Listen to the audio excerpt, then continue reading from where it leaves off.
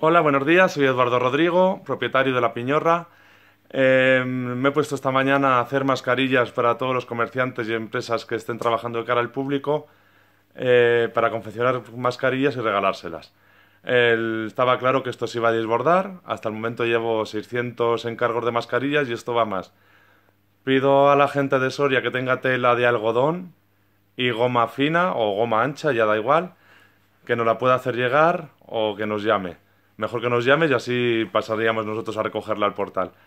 Eh, si hay alguna modista o gente que sepa coser a máquina, también que se ofrezca. Ya estamos en ello yo y otras cinco personas cosiendo mascarillas, pero hay que proteger a toda nuestra población.